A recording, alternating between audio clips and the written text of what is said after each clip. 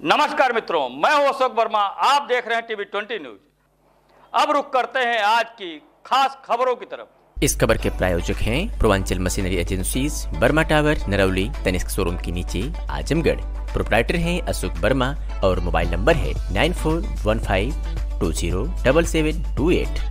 तो खबर आजमगढ़ से है जहाँ रानी की सुराय में समाजवादी पार्टी के पीडीए पंचायत ने सभा पिछड़ा प्रकोष्ठ के प्रदेश अध्यक्ष राजपाल कश्यप ने बीजेपी सरकार पर जमकर निशाना साधा। आपको बता दें कि आजमगढ़ के रानी सराय बाज़ार में समाजवादी पार्टी के पीडीए बूथ पंचायत प्रशिक्षण कार्यक्रम का आयोजन किया गया था।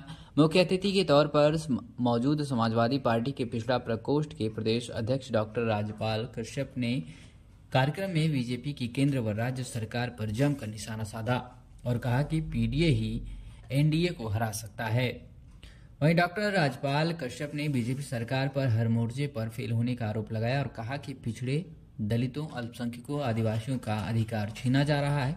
युवाओं को नौकरी नहीं दी जा रही, प्रतिवर्ष दो करोड़ लोगों को रोज़गार देने का वादा किया गया था, लेकिन हर वर्ष दो करोड़ लोग बेरोजगार हो रहे हैं। महँगाई चरम पर है, कानून व्यवस्था फेल है। महिला बेटी सुरक्षित नहीं है।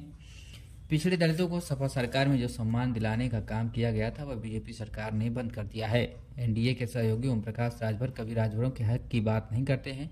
उनके आरक्षण को लेकर मुद्दा नहीं बनाते हैं। उनको अपने लड़कों को सांसद विधायक बनाना है और टिकट दिलवाना है।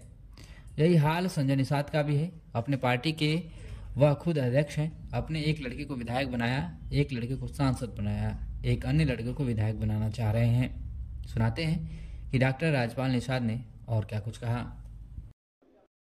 समाजवादी पार्टी के राष्ट्रीय अध्यक्ष माननीय श्री अखिलेश यादव जी के निर्देश पे और आह्वान पे पूरे प्रदेश में पीडीए पंचायतों का आयोजन समाजवादी पार्टी पिछड़ा वर्ग प्रकोष्ठ कर रहा है और अभी प्रतापगढ़ में किया है, मऊ में किया है और आज आजमगढ़ में है। और ये पीडीए पंचायत अभी आजमगढ़ में हो रही है। उसके बाद में ये प्रत्येक विधानसभा ब्लॉक और बूथों तक पीडीए पंचायत होगी।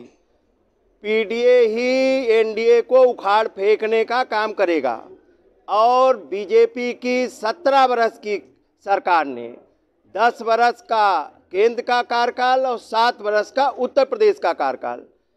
ये अपनी नाकाम रहे, हर मोर्चे पे नाकाम रहे।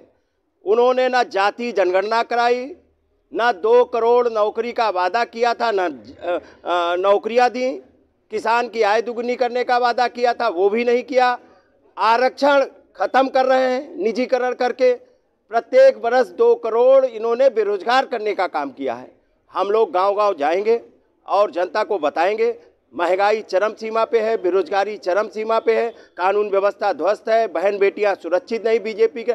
अपनी सारी नाकामी छुपाने के लिए भगवान राम का सहारा ले रहे हैं। और भगवान राम भी अब इनको बख्शने वाले नहीं हैं, क्योंकि इन्होंने भगवान राम की भी जब जमीनों के खरीद फरोख्त में घोटाला किया, चंदे में घोटाला किया, और हम दलित, पिछड़े, आदिवासी, वनवासी और अल्पसंख्यकों को अपमानित कर रही है बीजेपी लगातार, और उनके हक अधिकार छीन रही है, उनहत्तर हज़ार शिक्षक बैठे हैं बैकलाग भरा नहीं जा रहा है, आरक्षण पूरा किया नहीं जा रहा है, और अब तो लेटरल भर्ती केंद्र सरकार ने चालू कर दी, और उसमें कोई पिछड़े और दलित के लोग नहीं हैं। कितने हमारी सरकार को बदनाम करते थे, कहते थे कि यादवों के कलेक्टर, सब यादव कलेक्टर हैं, जबकि वो यादव नहीं, सारे कलेक्टर थे। लेकिन बीजेपी ने हमको बदनाम किया। हम ढूंढते घूम रहे हैं, निषाद का बेटा कहाँ कलेक्टर है? कहाँ चौरसिया का बेटा कलेक्टर है? कहाँ चौहान का बेटा कलेक्टर है? कहाँ राजभर का बेटा कलेक्टर है? कहाँ भुर्जी का बेटा कलेक्टर है? कहाँ निषाद का बेटा कलेक्टर है? हमें तो कहीं नहीं दिखाई पड़ रहा। हमें तो इतने जिलों में घूम के आया हूँ, कहीं नहीं मिला है। बीजेपी पिछड़े दलित आदिवासी अल्पसंख्यकों को अपमानित कर रही है और ठेके पे बैठाल के लोगों को पिछड़े कुछ चंद गुलाम प्रवृत्ति के नेताओं को अपने दल में शामिल करके और